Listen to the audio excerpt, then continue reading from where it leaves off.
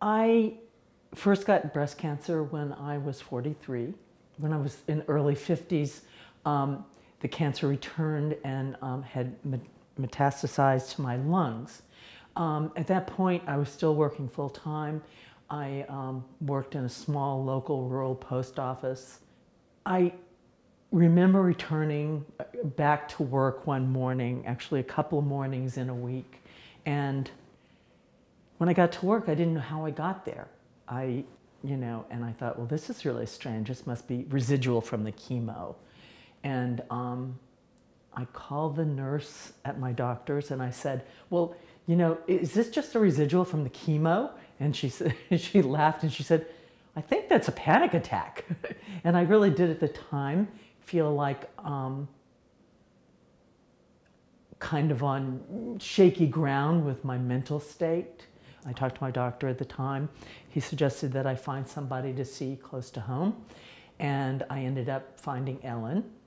And um, she and I worked a lot on just being able to calm myself when I got panicked about stuff. And um, it just seemed the right thing to do was to start taking yoga classes with Ellen. And I found that it really, really helped me with, you know, um, the just keeping a balance in my life and not feeling panicked so much because one thing that happens is you you'll go along and you forget about it for a while and then all of a sudden it's right there in front of you again and it's not going away. Um, for me, one of the things is during my life, I've, I've I guess I've sort of always seen myself as kind of an angry person. And one thing that I realized when I was working with Ellen is that anger was taking up a lot of energy in my life. I had teenage daughters at that time, and I felt like I really needed to get my act together to help them through what was a really scary time. The stress from retaining anger and things like that was not going to be helpful in healing. I also, at times during my life, had been depressed. And one thing that really stands out for me about doing yoga is that, and it's not like, oh, aha moment, it's, I don't get as depressed as I used to. I think that's been really important for my family in terms of how I'm coping with the disease because people are always saying, well, I don't know how you manage this. How can you, you know, oh my God. And, and I don't feel that way about my disease at all. And it's, it's surprising to people that I, you know, most of the time I'm just living my life. I'm not, I'm not worrying about it. It's not that there aren't moments when I still can have a return of some feelings of panic or feelings of, of despair. I mean, because things are constantly changing when you're going through cancer, whether it's um, you're taking a drug that causes a great deal of fatigue and nausea, or you know, trying to cope with some physical aspect of taking the drugs. It's just been such a gift to do individual yoga with, with Ellen because um, it helps me really focus more. And, um, and I think it's been very important in terms of developing a at-home practice that is very individualized, that works for me, that addresses my specific um, uh, physical um, issues, whether it's my breathing, because you know the cancer obviously is in my lung. There's there's you know less breathing room. I, I feel like because a lot of it's the focus on my breathing, that there's less of a panic feeling. I mean, I think sometimes I've, I've, expressed to Ellen that there's times when I feel like I'm drowning, like I can't breathe. If I have a technique that I can go to when I feel that way to just calm my breath, that really helps reduce my anxiety about the physical things that are happening in my body. One thing I do, or I try to do a lot, and I was just thinking I'm doing it right now as I'm sitting here, is, is to slow down my breath. You know, when you're going from one place to another, just take the time to sit and breathe for a while. It's like almost all the time I feel like I have, I feel like I have to remind myself to do that.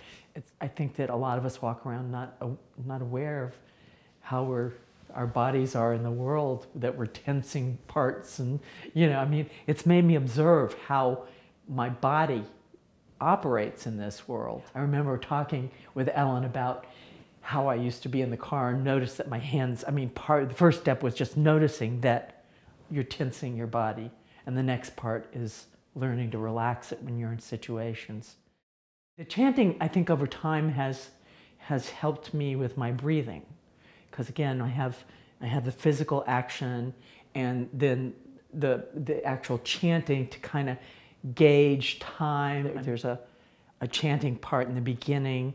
Um, the Om Anantaya Hmm is uh, it's an exercise in which you embrace yourself and then your arms go out, but it, it's, it alludes to uh, strength and protection. Um, and then the second one is clicking your fingers around as you're going Om Anantaya Padma Pata. And um, that's referring to vitality and endurance. So that those two things are very short, but I try to sort of stop and really think about what those particular things mean after saying them. I really, and I think I've said this to Ellen, um, and, and actually other friends who were like puzzled by it, didn't quite understand it. I feel like my yoga practice is practice for dying. But the idea of meeting your death in as calm a way as possible if, if you do believe that this isn't all, that maybe there will be some consciousness to the passage rather than just it's gone, it's over. So that you, just consciously embracing death and what is beyond. I, I sort of like that idea. I, li- I think that that's part of what I think about when I think about practice for dying. Um, and the other part of that is practice for dying again is not allowing yourself to be overcome with panic or negative thoughts when you go, going calmly, elegantly. And, and yoga's part of that, I think. Again, I like to think about being porous, about you're not just an individual, you're part of a whole. And just that concept of the body being somewhat a shell, and, and that part of what doing yoga does for you is to remind you that it's not just about this physical body, but that you go beyond that. Your essence or your, your, your spirit goes beyond that porous body.